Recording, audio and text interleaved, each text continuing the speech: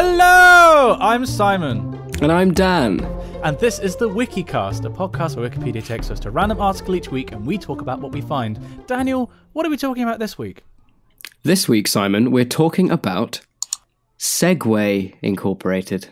Oh, As nice. in the Segway. This might be this might be the best random article we've ever had because the, I mean th- there there is nothing more random than a Segway, is there? The uh, trot's gone of uh, Yeah, of transportation. yeah. Um, but yeah, so what we what we've got is uh, founded in 1999, which I didn't I realize it was actually that old.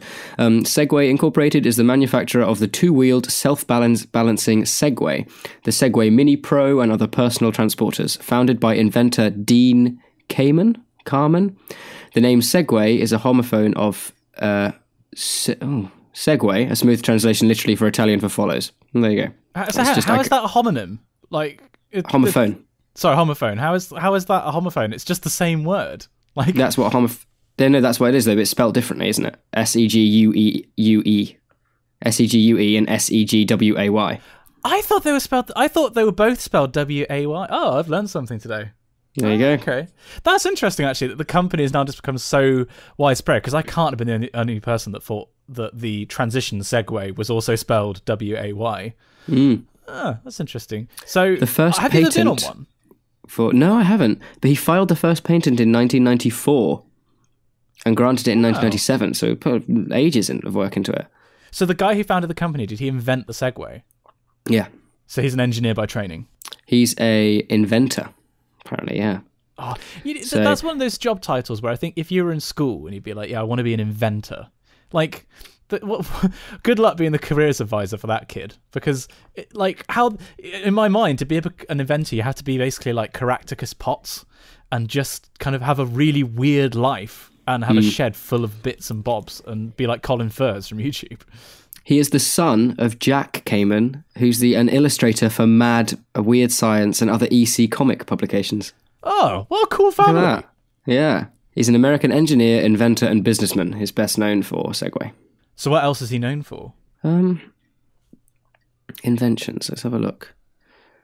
Uh, in 1989, he founded FIRST, uh, which stands for For Inspiration and Recognition of Science and Technology, a program for students to get uh, people interested in science, technology, and engineering. Cool. That was his first one. Um, Hey, and then, uh, se- yeah, Segway. Um, I mean, presumably, Segway is the most like profitable thing he does. This must be his like his bread and butter of his inventing life by this point. So apparently he came. Yeah, it says here Kamen was already a successful and wealthy inventor after inventing the the first drug infusion pump and starting a company, Auto Syringe, to market and manufacture the pump. So that's where he used that that money to put into. Um, he also holds patents for technology used in portable dialysis machines, an insulin pump, and an all-terrain electric wheelchair. The, he, these are very different. Like he's he's he's got like yeah, I'm really into my biomedical sciences and my uh, my my sort of pharmaceuticals, and also into wacky vehicles. Like the Venn diagram of those interests has no overlap whatsoever. So that's actually this this all-terrain wheelchair looks absolutely amazing. It's called the iBot. Um, Yeah, and there's a photo on his personal Wikipedia page of him in the um, in the White House with President Bill Clinton and uh, Kamen, the guy who's invented it, is in the chair is in this um, wheelchair using many. So the wheelchair uses many of the same gyroscopic balancing techniques that were put into Segway later on. How how do you spell iBot? Because I just spelled it E Y E B O T, and I got a bunch of stuff from Fallout. Yeah, no, um, lowercase i, capital B O T. Ah, right. Oh, that's that's not as cool as the thing from Fallout. I'll be honest, which kind of looked like a Sputnik type thing. I presume. Oh, okay, that's pretty cool, actually. Mm. Did you ever play? Because that was from Fallout Four, I presume. That I was looking. Oh no, no, I think it's in. Yeah, it's in four and three. Because you, we have Fallout Four, but uh, neither of us have played it. Is that right? No, no, I haven't played it. Uh, no, Ed, Ed's, Ed's played it quite a bit. He quite likes it. He's played all of the Fallout games though, so he's um he's a big fan. But no, I haven't. I haven't played Big it. Mm. fan of the post-apocalyptic mess. So you can see that in his bedroom, really. Yeah, exactly. You know, there's a correlation. Correlation in this case does again mean causation. Um, And Horizon Zero Dawn was the other one that um, we've got, and neither of us have played, but he's devoured. excellent game. He's completed that. Oh, has he at last? Oh, Hmm. Okay. Again, post-apocalyptic, kind of zero technology. very primitive. It's really taken his inspiration from his games. But no, I've never been on a Segway. It, it's it's been one of those things that I've always um I've always wanted to do because you see them like every major city it seems has like Segway tours now, Mm. or like if you go to Centre Parks you'll have like fleets of people on a Segway. I'm just I've always been a little bit put off by them. I don't know. They they seem I don't trust them. They look like you, sh- you should fall over. Mm, exactly. Which is was it? Am I right in saying that President Bush, as in Junior, um, fell off one when it was like it was like, oh yeah, don't worry, Mr. President, it's completely impossible to fall off of one, and he just didn't turn it on. I want to say, No idea. I'm gonna hang on, I'll Google that. I just remembered that that was one. Do you remember when America's president was an embarrassment, but it was for stuff like that, not Mm. literally being a sex offender and kind of spewing hatred? Like, it wasn't Straight a lot of simpler time. Yeah. Like, Yeah, oh, what it's a just, cool it's just What a cool guy. It's so no, he's not a cool guy, Daniel. Trump is not a cool guy, and I No. will not have anything like that spoken. You massive racist. Dean Kamen, you fool. Ah, yeah, no, he seems pretty. He seems pretty legit. He's also that's of his his profile picture, if that's what it's called. Excuse me. Um, You're right. Been- is, been coughing uh, and spl- I've edited them all out, but you've coughing and spluttering all over the place. I'm not well because I'm doing many things, uh, all of the things. Uh, I never have any time to kind of. I had, you know, everyone at the start of the academic year, everyone comes down with a bit of freshers flu. Um, I think in just in this instance, I've not had any time to get over the flu. To rub it in, I was at work uh, yesterday and I had my free um, flu vaccination because they, if you want a vaccination at work, they had a doctor come in and admit all the um, the syringes and things. And uh, I was like, oh, I've kind of, I've, as far as timing, I f- this, haven't I? Because I was just coming up, I was just coming out of the cold. And then they said, "Oh yeah, just bearing in mind, it's quite a, it, you know, some people have having have been having some funny reactions this year. It's it's been bruising um, for some, and uh, and yeah, you'll you'll you can get a bit fluey after having the having the shot. And I'm like, oh great, so I'm just going to exp- kind of continue my illness through for another week or so. So I've just been doing a little bit of digging on set because yeah, I was right. George Bush fell off a Segway in hilarious fashion. Right. Yeah. Okay. Now this is interesting. So, um, the, uh, what was the name of the guy who invented the Segway? Dean Kamen, Dean Kamen. Right. D uh, K A M E N. Right. So a guy called Jimi Heselden uh, bought the Segway company or Segway Inc. So I get, you know, I guess he just took over the business stuff. And do you want to know, or do you want to guess how he died? On a Segway. Well, he was on a Segway for part of it. Well, I presumably he was on a Segway for part of it, and then he was off, and that's why he died. Well, in he he he rode his Segway off a cliff. Ah, yeah, not not. Uh, they're not great in the air, are they? Yeah, they're not really equipped for aerodynamics. Uh, No. But yeah, he he in 2010 he just apparently it was an accident. If uh, how do you accidentally like they're not go they're not fast things. No. Uh, hang on, here we go. And it was uh, it was in the morning. He fell 80 feet into the River Wharfe, Jesus. ramming speed. Uh, some might say um, near Boston Spa, and wow, yeah, just pronounced dead at the scene. Jeez, and he had an estate worth 340 million pounds. Crikey. Just imagine that. Imagine that being the lawyer, because it's it's one of those deaths that you never. He was sixty two, so you know. I guess there's a chance that he was going to die, but like you I just mean, I think there's always that. a chance you're going to die, Simon. It irrespective of age. Yeah, but I mean, as the probability as you get older, that probability definitely increases. Yeah. But yeah. like to being that lawyer, you're just like having a, a day, you know, just like your normal day, and you think, oh, I wonder how my client's doing. And then you get a phone call saying, by the way, we've got to divvy up 340 million pounds of assets. Mm. Like at, least he left a will. Like yeah. that's the point. Have you written a will? Have I written a will? yeah, given how you're coughing and spluttering, it seems like a good idea. Yeah, no, I think I should. Um, no, I haven't. I haven't written one. Because I, I was uh, one of our favorite YouTubers, uh, Tom Scott. He's my age, and he was talking about writing a will in his most recent vlog. Because I haven't done it either. and I don't know if anybody I know my age has. I cer- I don't think many people our age do. I think it's something that you do, like when I don't know when you when you take out a mortgage and you you know you Yeah, you have you have financial. you're starting a family and you've actually got to think about or when you when you you you reach a point where your estate or your your your earnings holdings and assets are wor- are worth enough that you actually have to consider where they're going to go Well, Um, uh, this this leads me on to my next question, which is, of course, what will happen to the WikiCast if one of us dies? Ugh. I mean, straight in with the cheerful topics of conversation on this Thursday morning. Um, Don't date the don't- episode, Christ. oh yeah, crap. Uh, on this uh, Monday morning, on the because you know because we just had Halloween last week. Yeah, Halloween 2016. Yeah, yeah, it was a good one, wasn't it? We're actually clairvoyant. we're, we're just talking about stuff and, and hoping that it happens. We transcend both time and space. Um, I don't know what would happen. I think out of respect. I mean, if if if let's say if you if you died, More let's just say. Um, I mean, yeah, as as you've already pointed out with probability. Um, although I imagine that the statistics would probably balance out given my current health. um, I, I wonder what you were going to say there, given like your current, I don't know, like relationships, just like you're likely to get stabbed or something. I think I would. I think I, we'd stop the podcast. I'd just do it out of respect. I wouldn't feel right doing it without you. Oh, I would have. I just replace you with someone and carry on. Oh, really? Okay.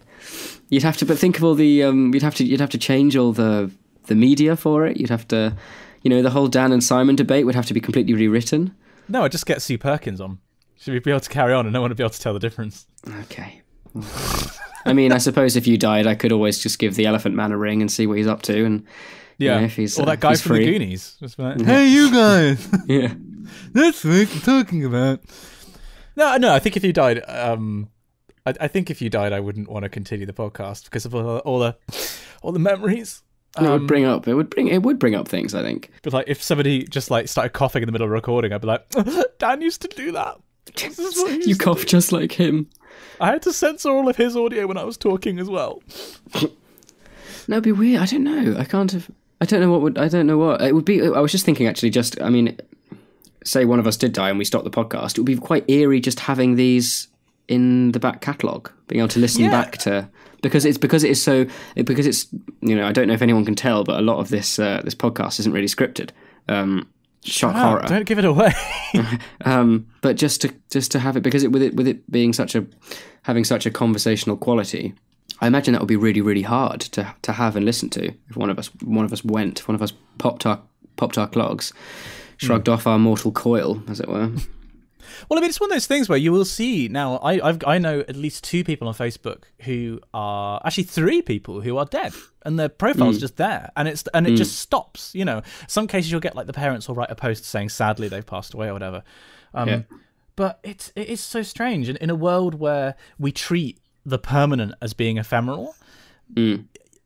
A sudden abrupt end or even even like a kind of a gentle end even if you because presumably we're getting to the point where people have had facebook for long enough that it's Yeah. the older demographic. Some people will just sort of die of old age.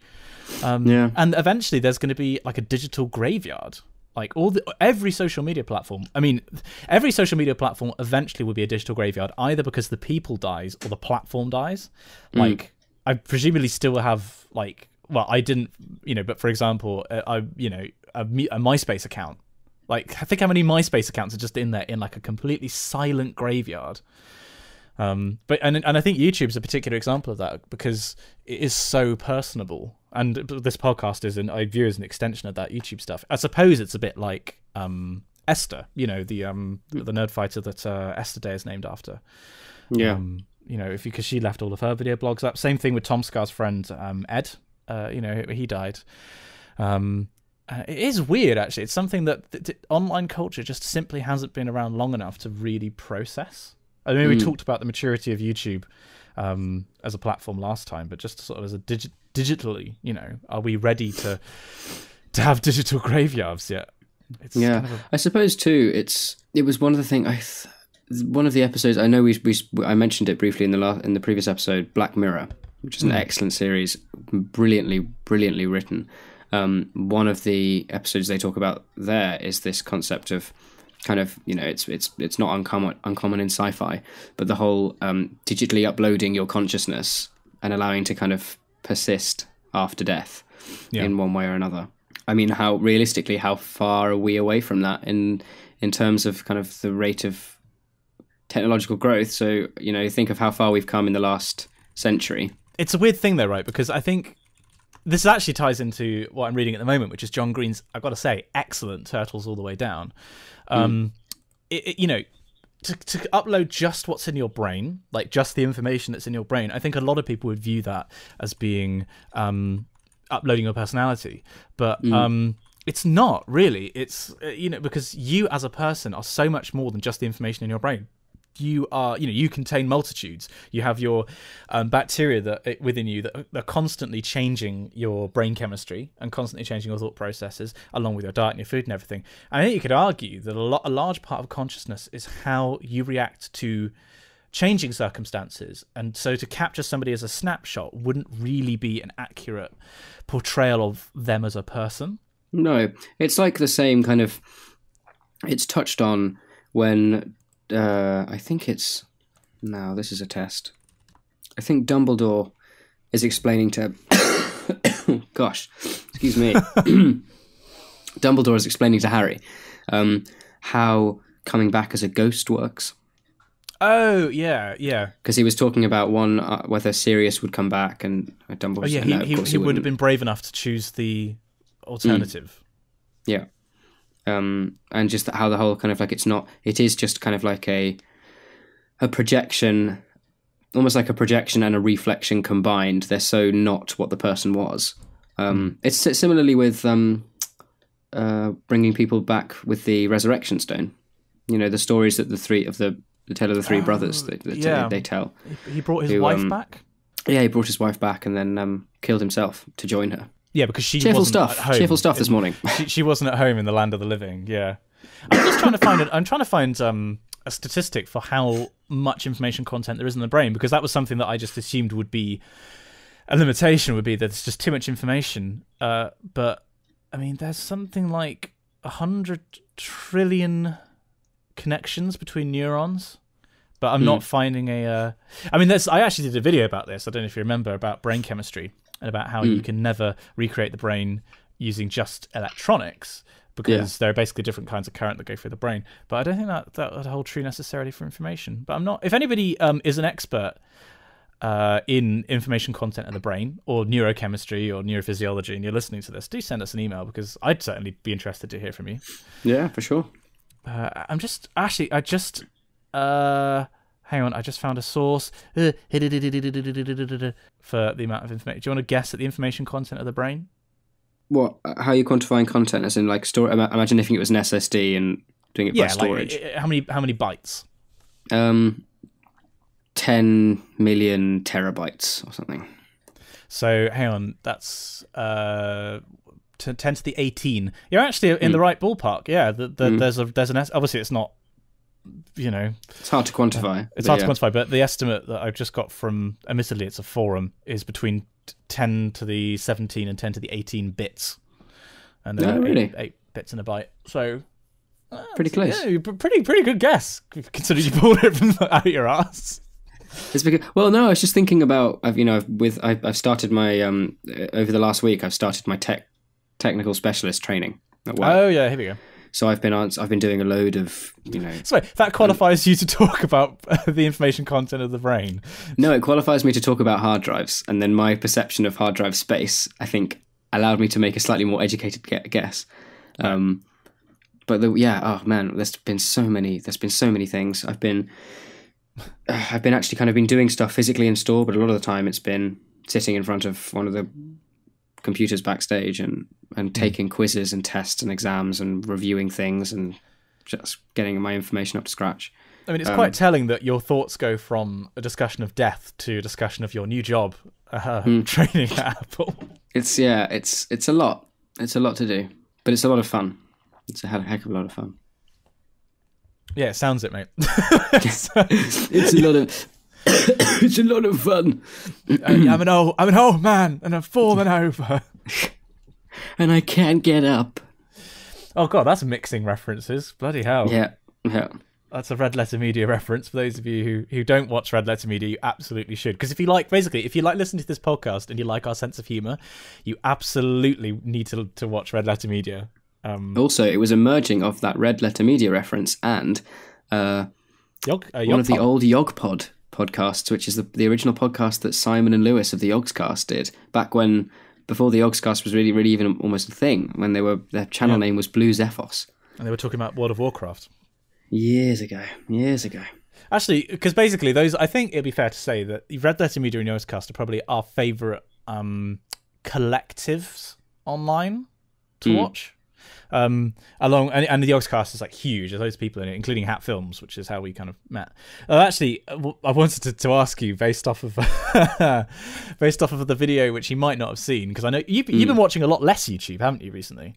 Yeah, hardly a bit, literally hardly anything. I've been watching every now and then if I get if I have some time or if I'm in bed and I want to stick something on for 20 minutes before I sleep. Um, it's been the new playthrough of uh, Divinity Original Sin 2 Yes. on the oh my god, Team Double Dragon channel, which has been amazing. It's such a good game. two such dads good and one old man who are just playing video games, and we're, Yeah. it's just us. It's so good. But no, well, uh, the question I wanted to ask you was Hat Films did a video recently. It was a GTA playlist where it turns out that uh, Trotty-san, uh, everyone's third favorite member of the Yogscast, uh, has doesn't use toilet paper. He uses wet wipes to, to wipe his bum. Oh my god. Uh, my question, which I think I can guess the answer to, is: Have you ever done that? No. Oh, well, I have done it because, like, if you're in a situation where there isn't any toilet paper, then obviously that then a wet wipe has to be the next best thing. But I can't stand the whole kind of. Obviously, it's from a hygiene perspective, it's it's much better.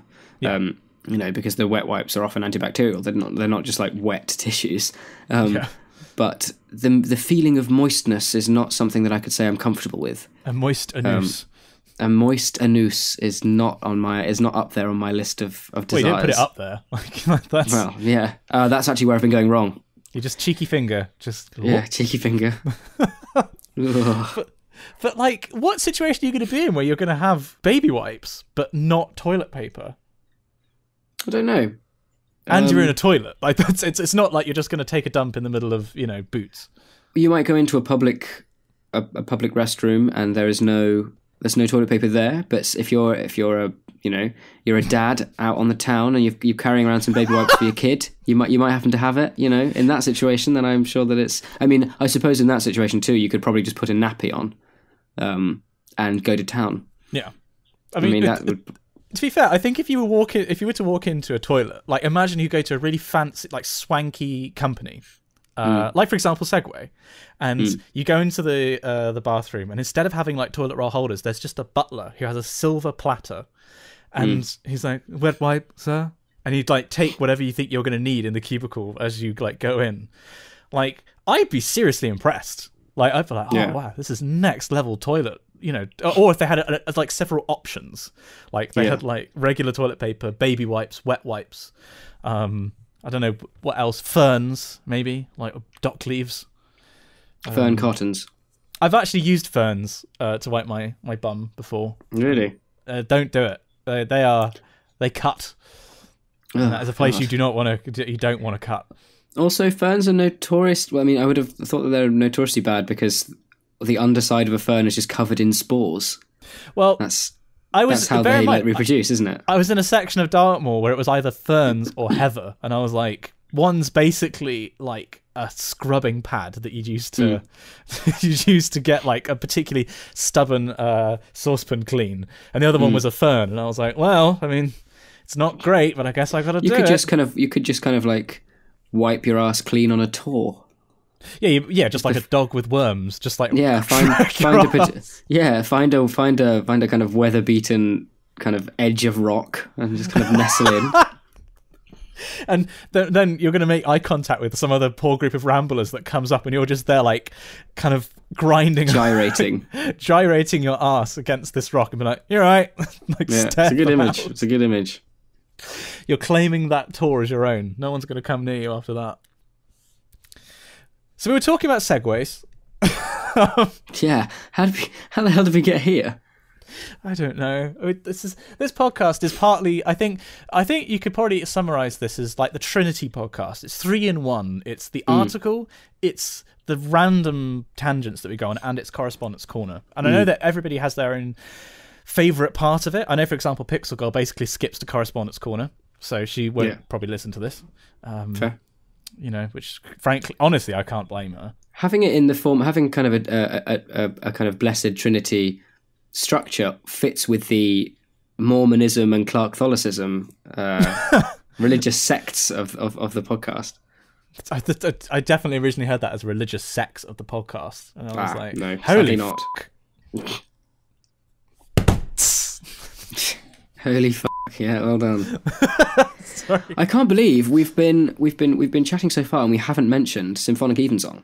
Oh my goodness, yeah. Tell you what, I could put in that snippet of what it sounded like. I was just going to suggest that. So for everyone who doesn't, so for those of you who um, perhaps forgot from last week or haven't listened to last week's episode and you're joining us for the first time. Also, um, incidentally, we well, hey, we did two weeks in a row. We managed it. Woo! Smashed it.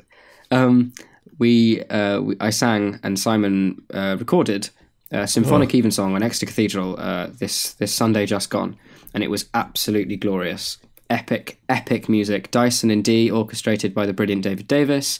Uh, Elgar's "Give Unto the Lord" with two choirs, uh, an orchestra, and basically a tenor section that any large choral society would kill for in the work. That's that's directly quoting Tim Noon, so you know it's good. Here's a snippet of what you could have heard if you were there.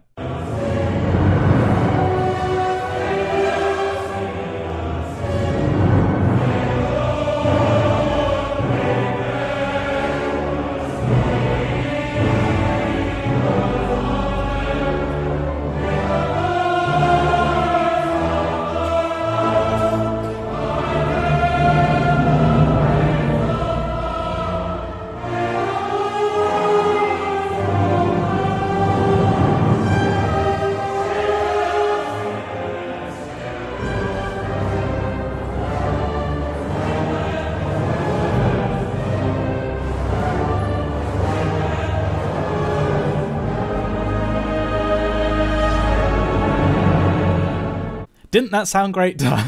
Oh wow, what a what a oh, epic, just epic.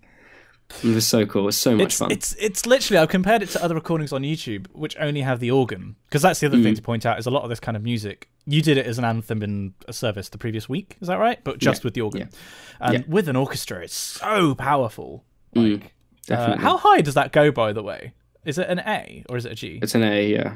oh, it's, it's just as you say, the tenors smashed it out of the park.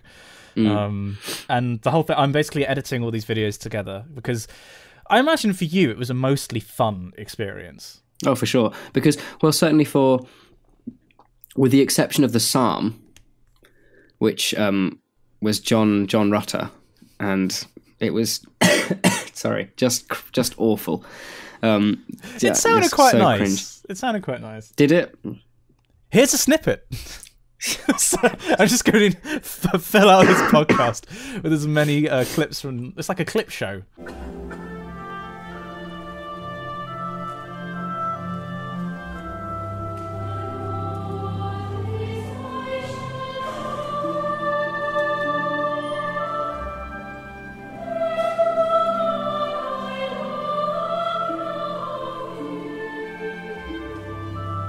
I'm really, I'm really hoping that when you rev- when you're reviewing footage, you need to try and see if you've got a camera on the choir in the final Amen of the Magnificat of Dyson and D.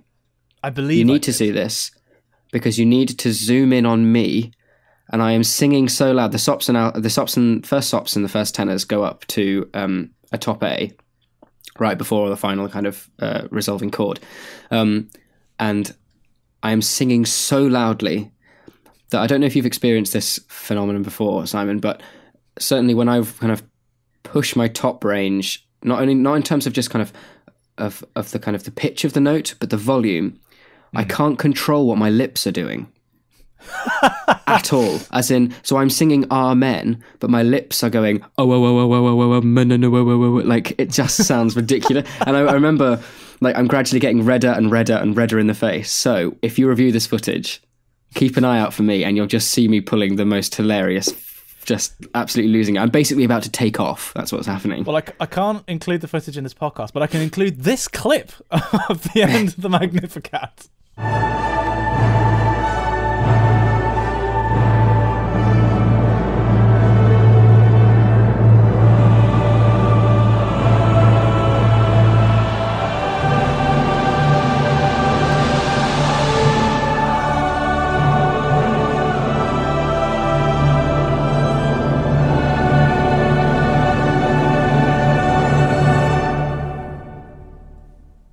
So I mean, the whole thing was just insanely stressful for me because I was basically trying to do four people's jobs at once. Like I was, we were, I did not have the equipment to record it properly. So this the audio rec- uh, recordings I'm not happy with because basically we didn't have the space or the the um, equipment. And in terms of cameras, I was trying to man four different camera angles simultaneously, which Yeah. was just impossible. And there's not. I think next time it would have made sense to probably say, you know, if we had that many tenors on the day anyway, and I would have, you know, I, I would have been, I would have, I, I wanted to sing because it was epic music. But if it com- comes around again and we're not doing it, then I, sh- I probably would have made more sense to be like, hey, look, we've got too many tenors as it is.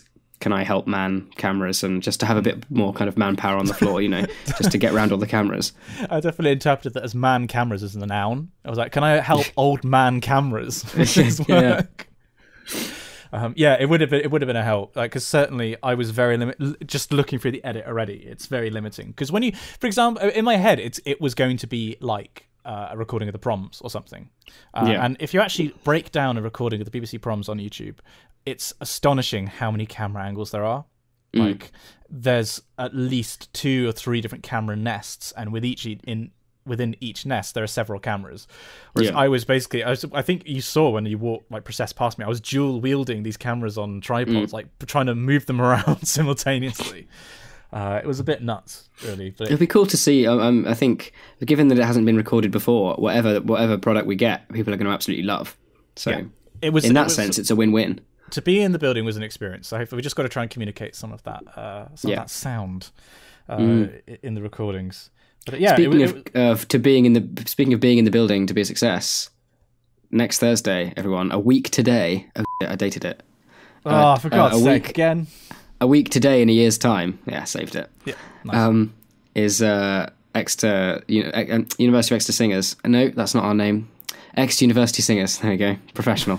Uh, we're singing. Uh, we're singing choral evensong in the cathedral. And last night at singers rehearsal, um, Dr. Jones joined us to give us an idea of what the organ's going to be like. And holy fucking shit, is it going to be epic? Just epic. I can't wait. I it's gonna. Oh man. Oh man. It's been a be good so cool. season for music because, of course, yesterday as well, you also did one of my favorite pieces of music, which I was I was gutted I missed, which was The Mozart Mass and C Sparrow Mass. Yeah, which is here's a clip. we do. I don't actually have a recording of it. I'll, I will include a little bit which explains why it's called the Sparrow Mass.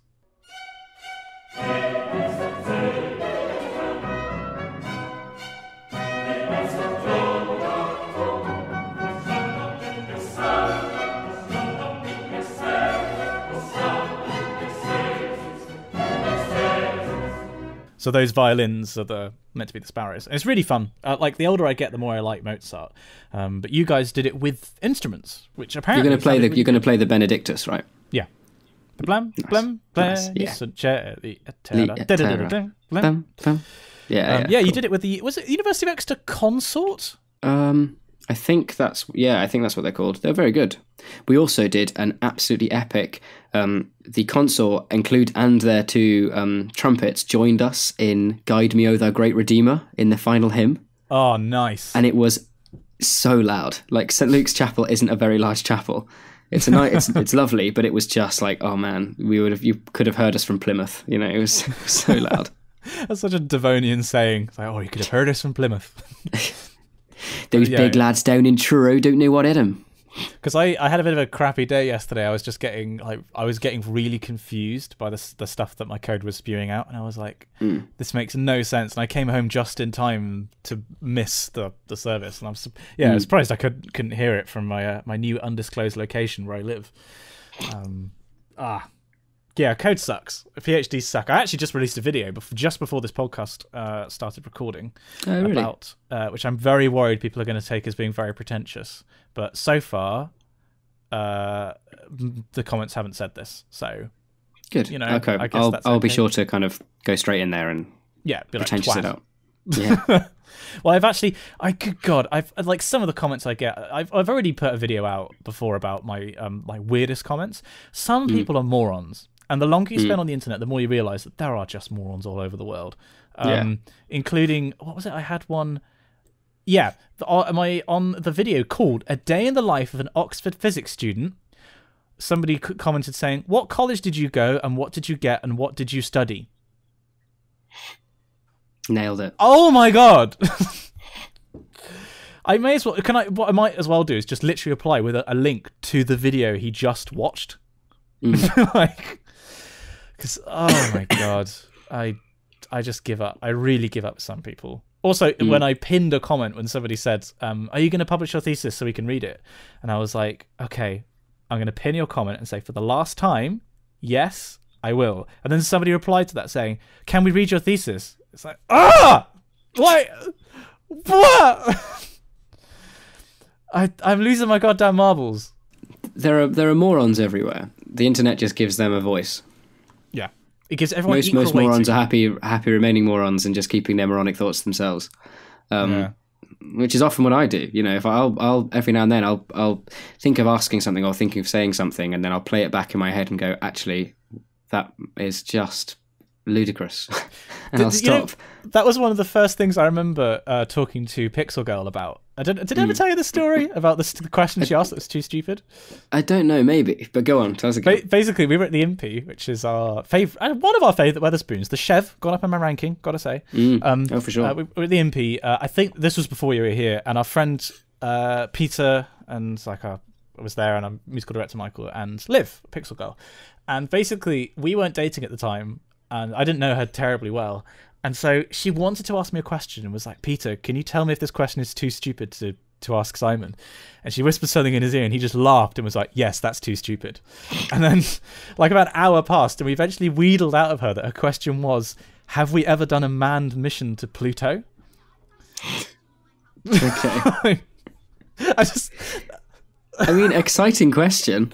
it's great space to ask a question. Hey, a great space to ask a question, but uh, a very very clearly answered with a no. But I just it was Peter's original reaction. He just burst into laughter. and Was like, yeah, that's that's too stupid to to bother Simon with his time.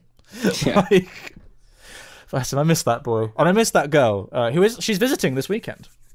Oh no, yeah, yeah, yeah.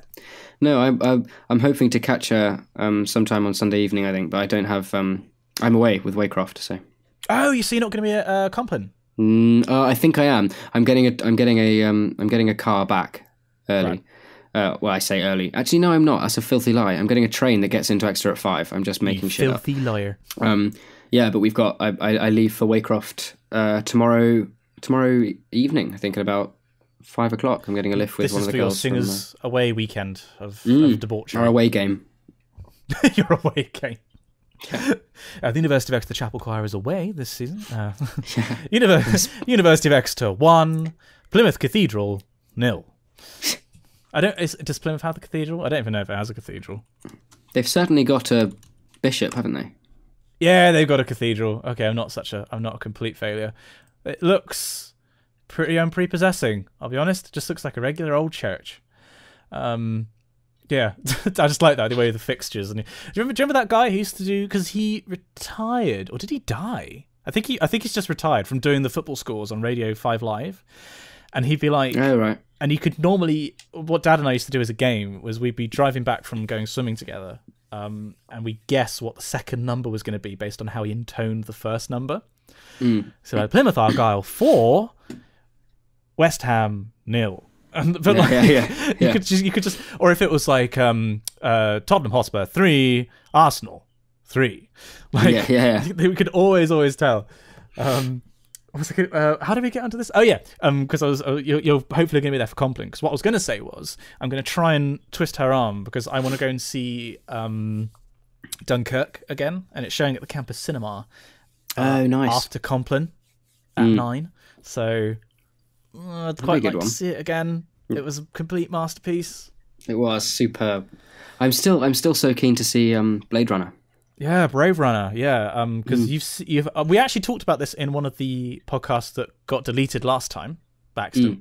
uh, well, two times ago. Um, but you have watched the original Blade Runner now, the final cut, Yep. and the you final liked cut. it a lot. Yes. Uh, whereas, and I've and I've seen the original Blade Runner. I love the original Blade Runner. After my mum gave it to me when I was like fourteen on like a re- really jank VHS tape, and it was the director's cut, not the final cut. But you know, it Mm. I, I loved it even then. Um, and I went to see on opening night.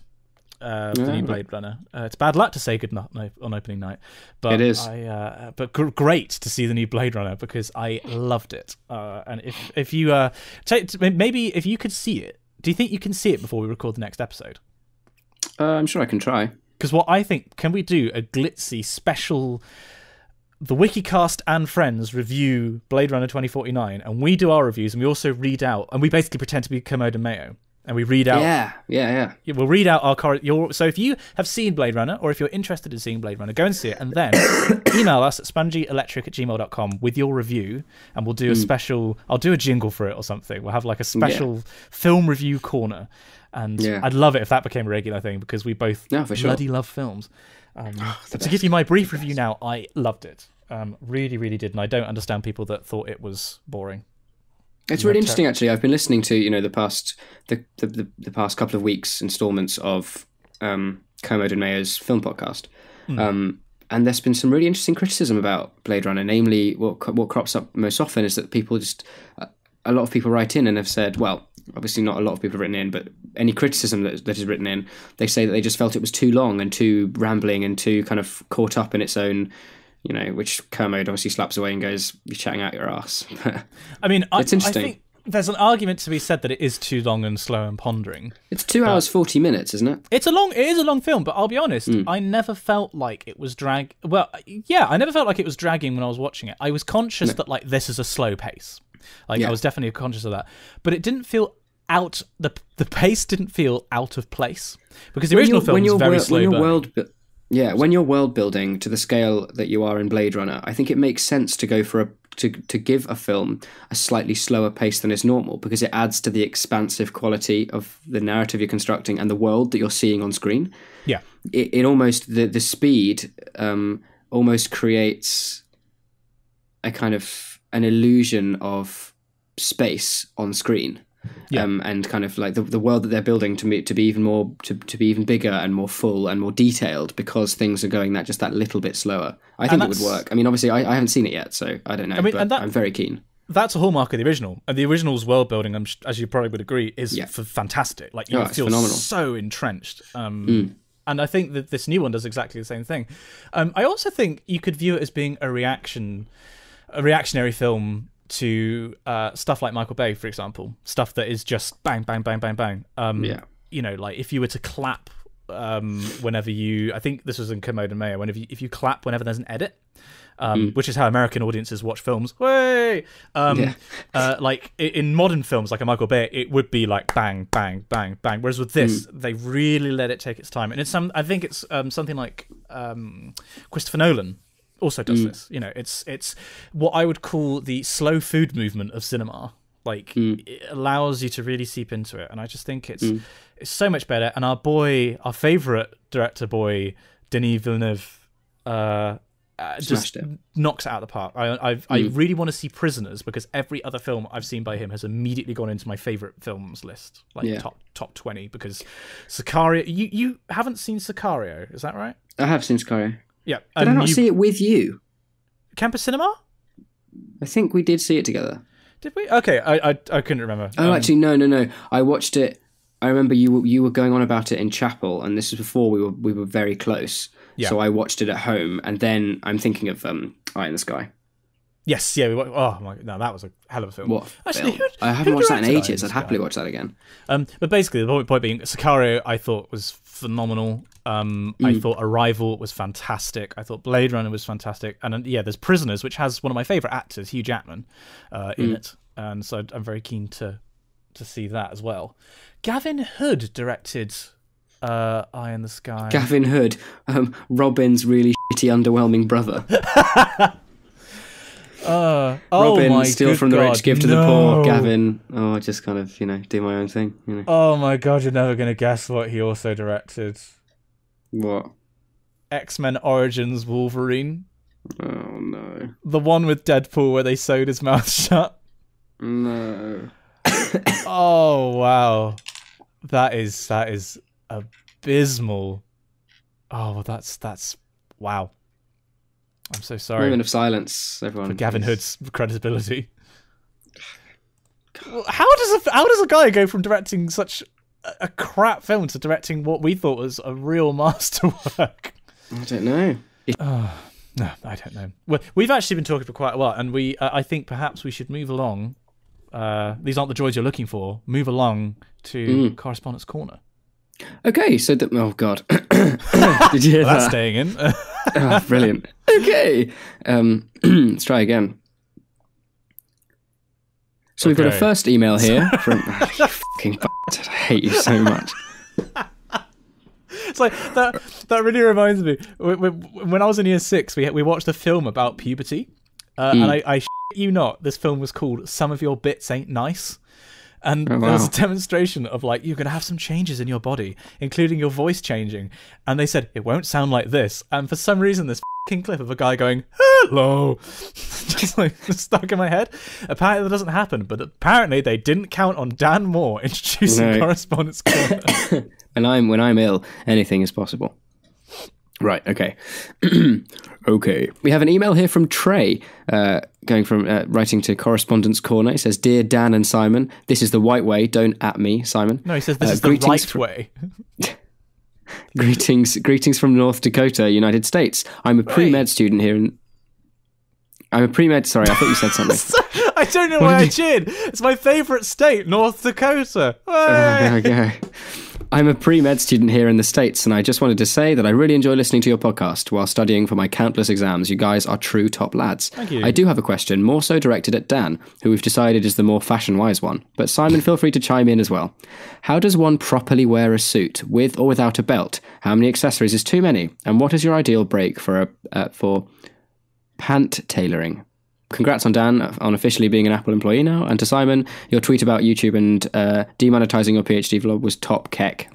also, dogs are superior. Cheers, Trey. Um, always a belt. Never, never without a belt in a suit. Um, Oh no, yeah, we differ on this because I never wear a, a I never wear a, a belt with a suit. Partly because I can't afford to buy a black belt at the moment. If you're tucking a shirt in, you have to wear a belt. It just looks ridiculous without it. I mean, if I uh, actually no, I did tell a lie because I when I recorded the Symphonic Evensong, I had jeans and a, and a shirt and suit jacket.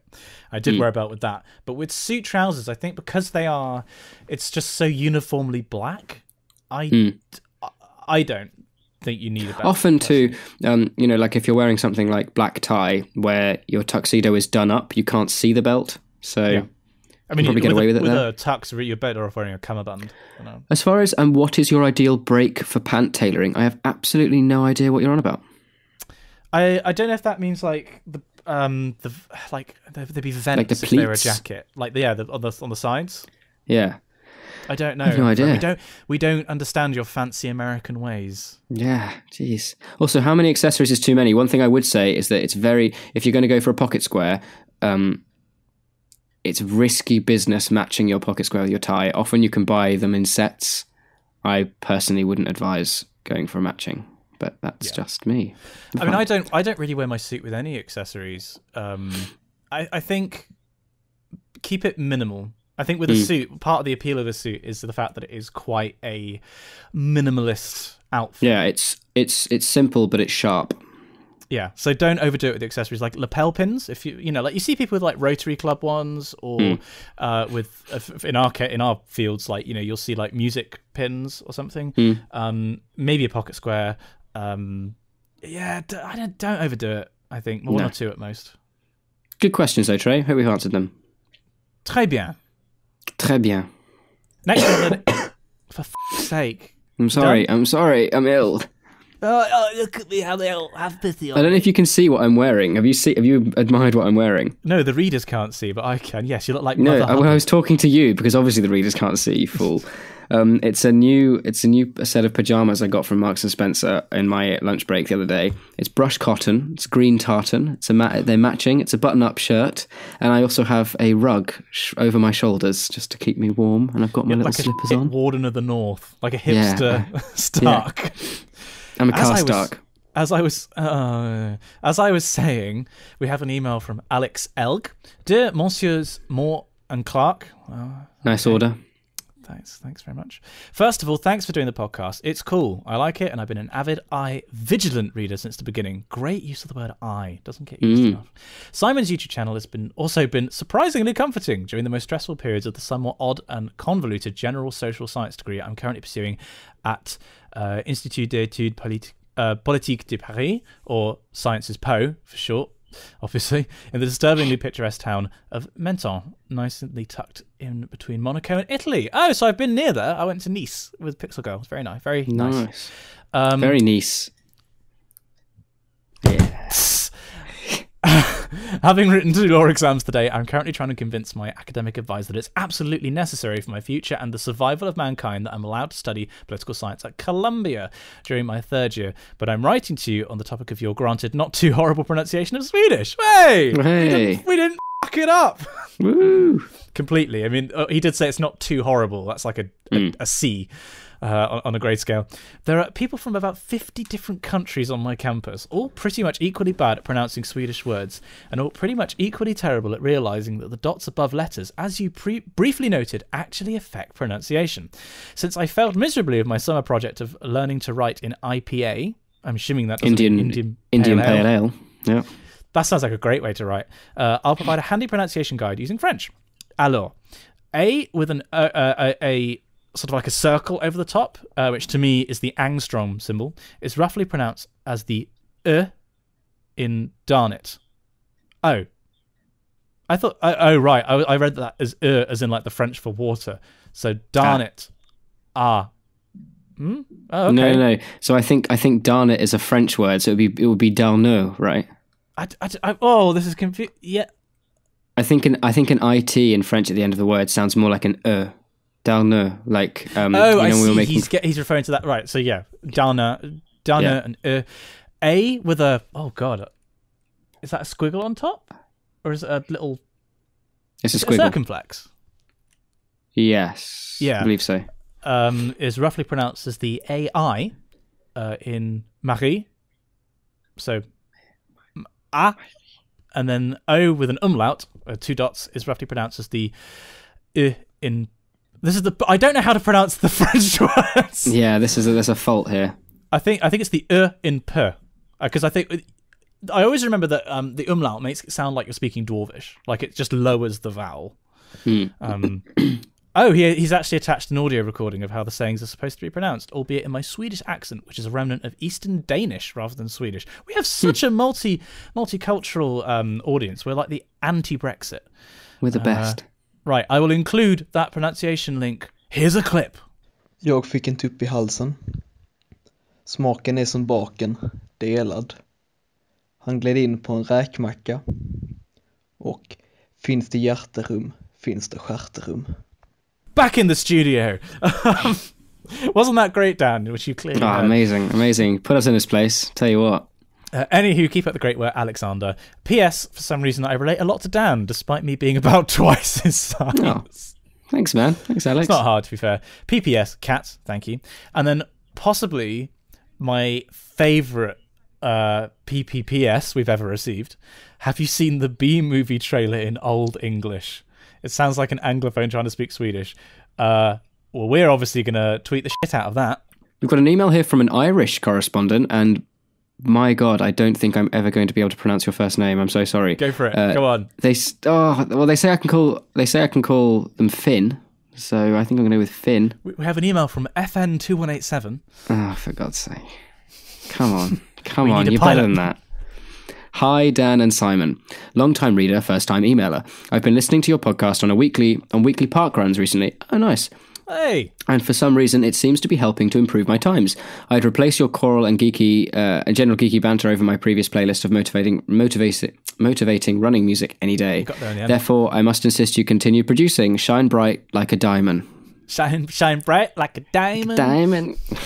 I like the idea that people are running listening to us, as in you're literally pretend that we're right behind you, and we have like Yeah. one of those sofa, um, motorized sofas, Yeah. and we're just having a chat directly behind you, and you're trying to get away from us. Yeah. If this has already been asked, excuse me for forgetting, but where did you get the title music from? I love it. Thanks a million. I'm going to try it. Uh, uh, Fionnuala? Finwala, yeah, that that'd be how it- it's it's spelled F I O N N U A L A. Answers on a Crazy. postcard. Um, Cool, no? We got the music from Google's library. It's Mm. uh um I can't remember what it's called actually. I'm, I'm gonna have to. look It's up green something, isn't it? Greenery. Yes, Greenery by Silent Partner, which is free to use, which is What precisely a good memory. I didn't even look at anything. I just have. I just knew it's associated with something green. Don't ask me why. and I I look it up every uh every every week. So you know, my memory's just like a sieve. So it's the green, it's the green, it's the green you need, and in your timeline, it's the green that I see. Hmm. What's that from? I've no idea. Princess and the Frog. Ah, It's from I Friends on haven't the seen Other the Side. Princess and the Frog. I've not either actually. Um, but it's from the middle of uh, uh Friends from the Other Side. When he's talking Ah. to the prince about how he needs money, but it's the actual. It's Keith David who's doing it. He's so cool. Um, but it's like it's the green, it's the green, it's the green you need, and in your Ah. future, it's the green that I see. It's Ah. a it's a great villain go. song. I'm a big Well, fan of know, Disney everyone. songs. Also, did you know um, Tim Blais of Acapella Science? If you're listening to this, hi Tim. Um, he sent me a link. There's a Broadway musical of The Hunchback of Notre Dame. Really? Yeah, I did not know that. The music is so cringe. Really? Like it's like at the start, Frollo is one of two brothers, and it's like uh, it's the same themes from the film, but it's like oh god, I I I, I heard the chorus kick in, and I was just like, no. I'm gonna go into my musical shell because it's Hmm. so Broadway. It's like listening to the recording of um, uh, Phantom of the Opera, and, and Oh, you're right. just like, oh god, this is cheese. It's like having Yeah. Edam poured into my ears. That's one for the compilations that people will inevitably make of a weird shit we say. We've got one here from Rahel, I guess. I guess. R A R A H E L. Um, hey, you two. I was just listening to your, la- uh, your latest Wiki WikiCast episode, episode 12, um, while cooking myself some delicious mushroom and celery. Celerica? I think she means celeriac. Or maybe Yeah, celery. uh, uh, to be fair, you're, you are. She's typing like you're speaking today. Like, I don't I'm know what's well. wrong Okay, I have an excuse. Um, and laughing at your rant about the lost episode when suddenly, with no warning, all at all, Simon came up with the brilliant hide and seek Google Cardboard idea. Do it. Love the podcast, Rahel. We definitely right. want to do it. Say no more. I, I, I, it's funnily enough, I actually bumped into a friend of ours, Ellen, in the forum uh, yesterday. Um, tried out an Oculus, an, an Oculus Rift, the um, uh, what's it called, VR goggles, and I was just like, yeah, with Google Cardboard, we could definitely do this. So, in the future, uh, we will, I'll buy a, bunch of Google Cardboards, and we will. I, I don't know when it's going to be, but we will do it. I promise, because I think it's a genius idea because I came up with it. You're right there, mate. Mm. Next, we have an email, a somewhat judgmental email uh, from Clara Otto. Uh, Dear Messrs. Maw and Clark, I've been a long time reader from your podcast, first time writer, but I've been longing to write to you guys, so here it is. First of all, I'm going to side with Dan on the dogs versus cats debate. Yeah. Now, actually, Well done, uh, we ha- I haven't mentioned this yet. Did you see my Twitter and Instagram and Facebook? Because I was quite proud of this. I got used as a climbing frame by a random cat the other day. Yeah, I did. I did see this. Yeah. Literally, this amazing thing happened where I was just I knelt down to pet this cat, and he was like, "Oh, hello, you're friendly." And I, as I knelt down, he just jumped up on my knees, and I was like, "Oh, you're quite friendly." And then he just jumps up on my shoulders Mm. and just bids me to like walk around. if I'd if I'd not leant over and basically had to move him off, he would have probably just come home with me like a parrot on my shoulder. So. Don't get dogs doing that now, do you? Um, I'm actually just contacting you, back to Clara's email. I'm actually just contacting you to tell you how appreciative I am of your podcast. I'm currently in my, a car on my way to Darmstadt in Germany to go visit some unis. Your podcast is one of the things that makes the travelling quite a bit better, so that's good. We've been, apparently, we are quite the travelling companions. We've had quite a few people email in about this. Um, she continues, I am, as you could have guessed, part German. My dad's German and my mum's Italian, but I live in France or Switzerland. Yeah, it's complicated. Again, Jeez, international nice. audience. Yeah. Uh, I am able to speak pretty fluently four languages. So here Oh, I am wow. listening to your podcast and, uh, parentheses, nearly laughing out loud at some of your pronunciations of some foreign words. French. She's going to grade us. Uh, this is in episode 10, and she's grading us out of 20, just to throw some numbers at you. Uh, Simon, 13 out of 20. Great effort, but I'm still not sure how you came up with the pronunciation of some of those words. Uh, whereas Dan, 15 out of 20, A plus for effort. I could actually Ooh, understand yeah. most of the words you said. Smashed it. God's sake. I mean, there's not that big of a difference between us. But we both need to improve. Yes, we both need to work on our pronunciation. Is that an I or an L? I think it's an. I think it's an L. I can't Okay. see it. I can't- either I I's or see. L's. It's it's either a capital I or a lowercase L. There are so many different pronunciations depending on its connection to the other letters, so I don't blame you, but it's a nice try. Uh, in German, Chen, uh, this is your point about the suffix, Mm. is actually there to project the size of the object, or it's sometimes used to mean cutify something. So they usually go together. Uh, you know, when it's small, it's cute. Um, so you are correct, like in like in Mm. Dutch. Uh, so Awesome. I, my my two years of studying German may as well have just forgotten them. Uh, also, in German, the W is generally pronounced like a V in the English language, such as in love. Uh, there we go for the linguistics. Do you mean lower? Uh, Ah, God. God's sake. Um, there we go for the linguistics. I, I, I incidentally, I am a big fan of how much uh, linguistics there are. There's well, has crept into our podcast because I love Mm. linguistics and communication. Um, Definitely. and a linguist, come to think of it. Um, uh, basically, she's saying, uh, as for the rest of the podcast, very funny, much entertaining. Wow. Uh, I've Mm. been binge reading it, like it, and it's just great. And I'd be extremely pleased to participate in the Patreon when it's possible to. We've had a few emails about the Patreon. Some of you we realise are students and can't contribute. You know, we are students. We totally understand that. Uh, but it's really great to hear that some of you would be willing to put literally only a dollar a month um, just to cover our hosting. So we will Amazing. Make moves on that, but we're not going to launch until we can do it properly. So you know, Yeah. it won't be for a few I'll start weeks. looking into. Um, I'll start looking into that today. Actually, after we finish recording. Of course, yes, because you have a day off. I have, had, I have a day off. It's the first day off I've had in like two weeks. I'm. That's why I'm in my pajamas, enjoying the day. It's been amazing. Thanks very much uh, for your email, Clara. Uh, she does say, P.S. Good luck on the final stretch of your PhD. Thank you. I am dying here. Today's actually been an okay day because I've only done like two hours work and it's one. Um, but uh, yeah, it's going all right at the moment. Uh, PPS, I thoroughly enjoyed the discussions on geek culture. Well, you're in luck, we had a discussion about death, which was similarly serious this time around. Um, I don't think I'm a geek myself, but I have been shamed for reading the Harry Potter books. Oh, at her age. them. No, that's any age. Harry Potter is just ugh. Oh, did I talk about last time I went? To, did I talk about my visit to the Harry Potter store on platform? Oh, you didn't know. Mm, I went. I was in London for a thing, and uh, I uh, got into King's Cross station. And on my way going going back to Exeter, I was at the same station, and I got there about an hour and a half early, just so I could make the most of the nine and three quarters shop. And I didn't buy anything, but my god, did I want to walk out with everything? It Because yeah, it's it, was there a huge queue for the trolley stuck in the wall? yeah, massive. Whereas when I last was there, I was going to Cambridge and it was ludicrously late at night, and they actually take the trolley away. Mm. Like it's not fixed to the wall; they just m- remove it, so you don't get those cheeky free pictures by coming in the station late at night. Fucking capitalism, man. There you go. We've got an email from Emily, which is a really cool um, spelling of it, actually. It's E M E L I E. Um, Hi, Simon and Dan. I was listening to one of your podcast episodes where Simon talked about when he biked into the bin. I did a similar thing, only that it was a rose bush. My mum and brother laughed at me. Oh no! At least bins don't have thorns. Any, anyway, just wanted to say that I really enjoyed your podcast and I'm listening to it on the way to university. I'm currently studying environmental economics at the University of Gothenburg in Sweden. Wow. Oh, cool. Um, also, dogs are much better than cats. I was bitten by a cat when I was little and I've not trusted them since. Me too.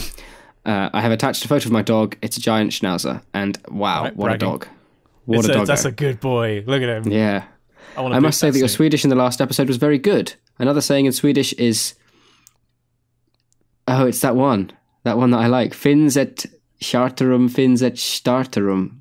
Um, Yeah. if there is room for the heart, there is room in, for the ass.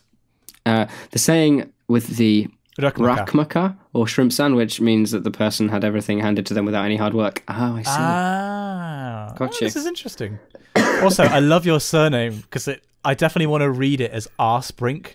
Which sounds like the top bit of your arse that like you have to be protective over if your trousers start slipping. It's like, oh, your arse brink showing. Uh, but no, I think it's thank you, Emily. Uh, Us, uh, actually, how do you pronounce that? Because it's got an umlaut. I think. Em- Um, Emily Us. Usbrink. Yeah, I think it's a shorter A, isn't it? Usbrink, maybe. I don't know. Thank you, Emily. Matthew Chasey's uh, email. Do it. He's just sent us an email with the subject Patreon, Patreon, Patreon, and the email is just a picture of older Sheev Palpatine with "Do it." so, all Sorry, right. not do it, but do do it. Yeah, nice. Yes, thank you very much, uh, Tim Sustverner, uh, to the honoured Claw and Mark. I quite like That's that. That's pretty good. Does that count as the right order for both of you? I suppose it does. Yeah, it does it floats my boat. Claw and Mark should be our like tribal names if we ever go like you know, like post-apocalyptic kind of you know that's our clan. Oh, actually, I did want to talk, talk to you about this because um, I, I did tag you in it, but um, you know, there's a an, a mod being developed for Skyrim at the moment that's like Skyrim cooperative mode. Mm, can we mm. both? Can we do a playthrough on Spongy and Electric as two barbarians called Claw and Mark? Yeah. Also, if anyone wants to write some new fan fiction about the two barbarians or two Stone Age men, Claw and Mark, that'd be amazing. thing that'd is, be so Mark cool. is just a normal name. I feel Yeah. I don't know. I kind of like that though, because that would be like one of us would just not fit the time at all. What so like you're between the Paleolithic and the Mesolithic, and like Yeah. Cl- Claw is like the really traditionalist, and Mark is just like, oh, you got to use these these really flint chipped tools, you know. Yeah. Yeah. Anyway, uh, so so Tim has said, I absolutely love your podcast. It's become part of my weekly and mostly daily for back issues routine.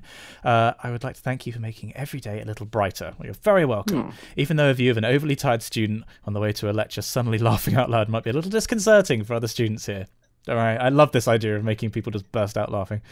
Um, your attempt at pronouncing Germanic, oh sorry, German words last week was highly entertaining despite lacking some accuracy. Very brave attempt, though um, considering that the last description of my native tongue I heard was, "It's like German wants to prove it's smarter than you."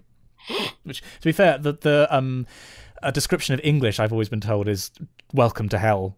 Like, just nothing really makes any sense in English. Um, Yeah. Anyway, dogs for the win. Cats are the literal spawn of Satan. Wise words, Tim. Wise words. Speaking of heated internet debates, though, as Dan uses Apple products and Simon relies on a weird mix of Linux, Windows, and Android, that's not that weird, uh, would it be possible for you to explain the reasoning behind you choosing the respective platforms? I'm deeply personally, uh, sorry, personally super deeply invested into the Apple ecosystem. It would be interesting to hear your respective reasoning. Why are you an Apple fanboy, Dan? Don't say it's because it let you play WoW. Um, well, this is the thing. From a gaming perspective, um, Apple is really not helpful. Um, the vast majority of PC game releases are not compatible on, on an Apple um, on on an OS X operating system. Um, however, they're doing this. They're, they're doing great leaps and strides into kind of reaching out now that Apple's kind of the tech within the machines, namely the graphics cards and processors, are getting kind of stronger and stronger and better and better. Um, I've we we had a you know we started off on a Windows PC and then I think at the age of I would have been maybe seven, the family moved to Apple. I then grew up with Apple. I like their kind of ethos. Um, I like their kind of attitude to how their operating system works. In that if it's super complicated and for a daily user, if they don't need to know that information, Apple won't show you unless you specifically ask for it. Where I, whereas I think with, with Windows and Android, there's far more kind of like, do you want to do everything? Okay, do everything. And I think that that can sometimes limit its um, accessibility for the general Yeah. public, which is why Apple is so popular with you know with you know students and um, kind of an older demographic too. It's just more intuitive to use. I was told by a teacher once that with Apple, it's um, with, or sorry, to start with Windows, it's easy to do the basics on Windows. Anybody can, but the rabbit holes go very, very deep if you if you know where to look. Whereas with Apple, um, it's a bit like a shallow ocean in that everything is laid out for you. You can um, very easily get to the bottom of, ev- of everything because the bottom isn't that deep as far as the uh, user is concerned. Obviously, it goes very far, much further back from you know the back end, um, but you don't at at the fundamental level have that as much control over the base processes, which is good for some people because yeah, they don't want that and it's intimidating and it's confusing. Um, I've always just used Windows because it's we never were able to afford a Mac, so that was there was never really an option. Uh, but I like Windows because yeah, you do have certainly from a tech perspective, you can go in deeper and you can control stuff. much more control. Yeah. And in terms of Linux, I wanted to learn a new operating system, uh, and it allowed me to do that. It's also better. I think it's better for programming because you have ac- easier access to the command line, um, and it's much more common to to use the command line. Um, and Android because I just prefer Android. You know, but basically the same reasoning with Windows. You get a lot more customization with uh, with Android than you do with an iPhone. Yeah. Well, that's that. Without awkward pause. Answered you answered your question there, I think. Thank you, I thank you, Tim, and greetings. Oh, greetings from UEA. Oh, t- he says Tim Sistwerner. I'm going to say good luck trying to pronounce that German word. Well, I gave it a stab. We have another email here from Aniela Shaw Miller. Uh, good morrow, young sirs. Um, just uh, like that. that. that reminds me of that line in um, uh, you know when the hobbits walk into the inn of the prancing pony and it's good evening little masters Oh yeah, from uh, Barliman Butterbur, the best name in Lord of the Rings. our business is our own all right young sirs i meant no offence Offence. Talk of strange folk abroad. Can't be too careful. He says as he gets crushed by the ring wraith. yeah. Um, good morning, young sirs. Just a quick note my owl is merely a fledgling, so I cannot burden it with too much weight. Love the podcast. Your tangents are like butterbeer sweet, frothy, but also rich. Keep them coming. Um, Simon, I've watched your channel for years now, and it's been fascinating to see you grow and develop as a content creator. Upping your game in terms of gear and cameras definitely exacerbates your talent as a video maker. Oh, thank you. Also, I'm a massive fan of Dan, fellow classical studies student and Harry Potter obsessed. Obsessy? Obsessor? Uh, Well, obsessed Obsessy. works. It, it, it depends what you mean. Like, you can say that you are Harry Potter obsessed, implying a state. But if you say that you are a person who obsesses, I like obsessy because it looks funny. yeah, I, I like that. Lots of well, to repeat. Uh, uh, carry on, Dan. I'm having a stroke. Question. if you could polyjuice potion any composer, living or dead, so that you could, um, you, so that you would have written their complete works, who would it be and why? I look forward to your answers. Anyway, thought I would send you a quick snap of my evening. Hopefully, Dan appreciates. Live long and prosper, Anyella. P.S. Dan, from what everyone is saying, perhaps we can assume gloriously liberated, gloriously liberally browed could be your epithet. um, and don't worry about the other lack of compassion of your Gryffindor jumper seen in the vlog. They're just muggles. Oh, thanks, Daniela. That's good to know. She's also attached. A, she's attached a photo of a uh, bottle of Doom Bar and uh, Homer's The Odyssey, and it's the right, tra- the Richard Lattimore translation, which is the um, is the is the better translation. I'm pretty convinced you're losing your mind. By the way, you're just you need to have a lie down after this. I can tell. Um, I mean, this is the thing. I've this is the first time I've had I've had the opportunity to take the day. I have to go to the chapel choir rehearsal in the evening, um, which is going to be fun. But yeah, I don't know. I've still got some time to relax. To answer the question about Polyjuice Potion, I, I think if you were to pick any dead composer, for example, if I was to Polyjuice into Gustav Holst, I don't think hmm. people would be like, "Oh wow, I love your work." They'd be like, "Jesus Christ, he's back from the dead!" like, I think I think I do. of- I, I'd like to be Elgar. yeah, Elgar was cool. I mean, I I, I think Holst actually wouldn't I wouldn't mind. I mean, if I could be anybody, it'd be Bach, because hmm. like that dude was a don. He he was just a machine, like a, a literally a robot for producing inspired music. And the longer I listen to the Mass in B minor, the more I'm convinced that the Gloria is the single greatest piece of music ever written. Like it's just it's astonishing. Yeah. But yeah, I don't know. Um, living? What about living composers? Who would you like to be? Um. Paul Mealor, so you can scare the shit out of Dr. Jones. Yeah. I do love Mealor's stuff actually. Um. oh no, oh, obvious answer. Eric Whitacre. Live that lifestyle. Oh yeah, true. That's And that point. hair. That glorious, Rutter. glorious John Rutter hair. and be absolutely rolling in it all the time. yeah. I, I suppose I should really be saying Ēriks Ešenvalds, but yeah. Hello, I wrote the Trinity Te Deum, and you just wet yourself at the saying that. Yeah.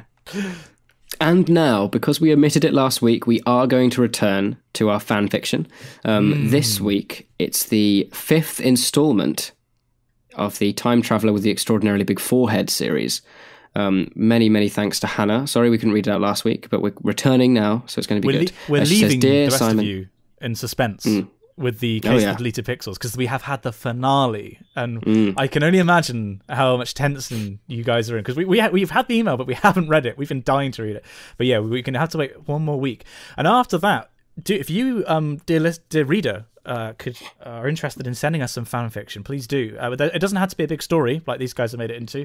Uh, I frankly welcome the idea of smutty, filthy one-off stories about Dan and I, possibly as cavemen, possibly as spacemen trapped on the moon after an Apollo mission has failed, and we only have each other's arms to embrace. Uh, Oh yeah, and I and don't I positively shudder at the thought. But let's go. or write some Good. saucy stuff that we do in an organ loft. I don't know, but yeah, if Oh, you'd yeah. like to send us some fan fiction, do do please send it to spongyelectric at gmail.com. But over to you, Dan. Cool.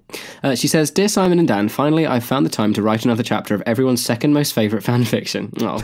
she says, "You're doing amazing, Josh.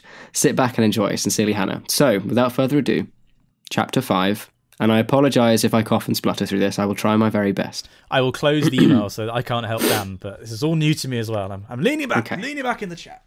Here we go. Chapter 5 Simon dropped the plate he'd been cleaning.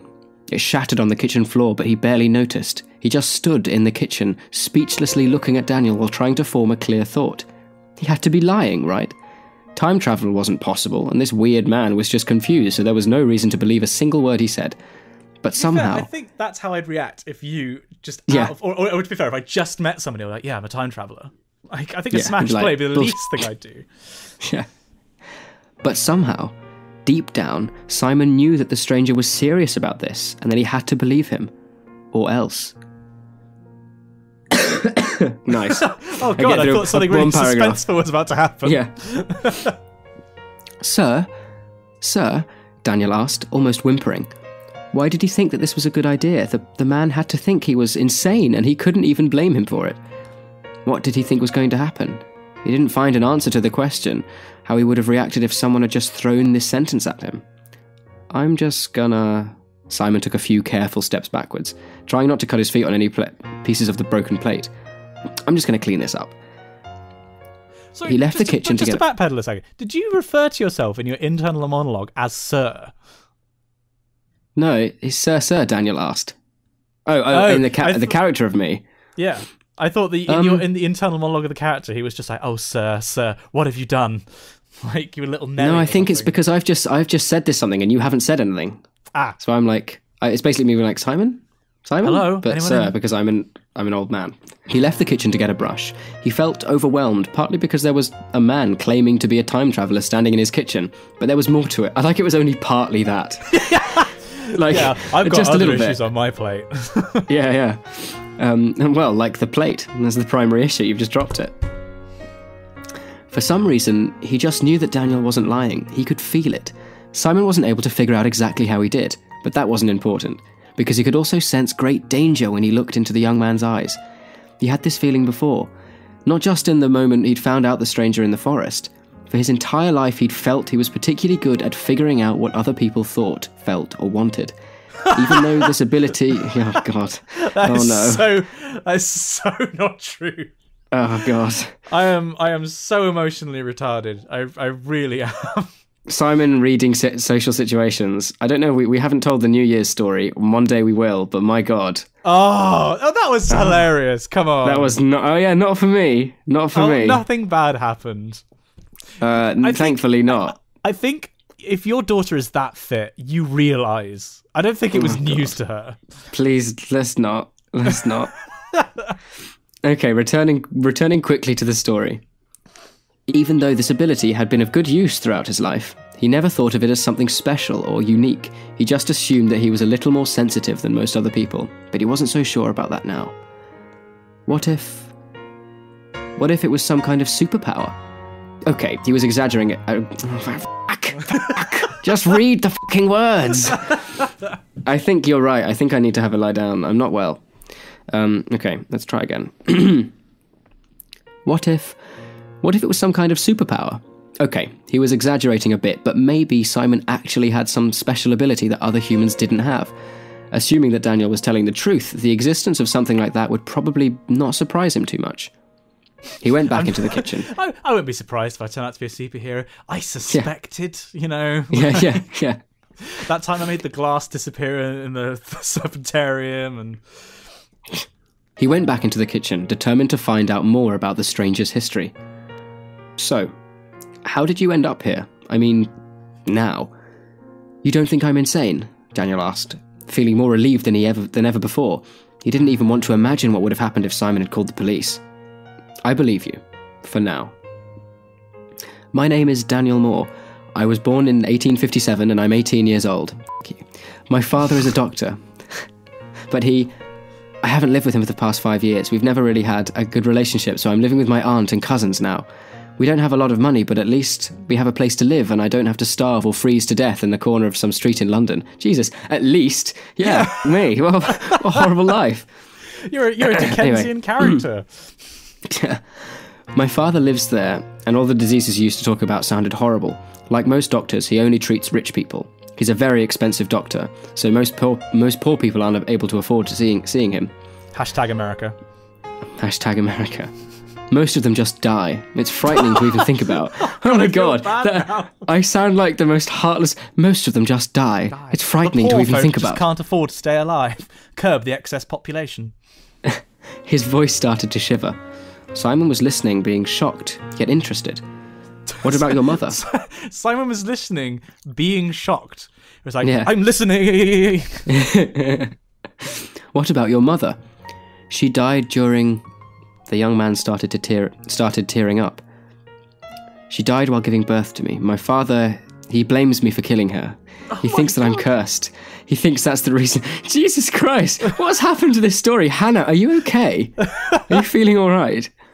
Oh my, God, good heavens I'm not letting you get anywhere near me with a crossbow. Jesus Christ! Nice reference though. Very good. Game of Thrones. Come on, everyone. Round of applause for Simon. Do it to myself. He started Wanker. sobbing, unable to hold back his tears any longer. Without finishing his sentence, he started to cry uncontrollably.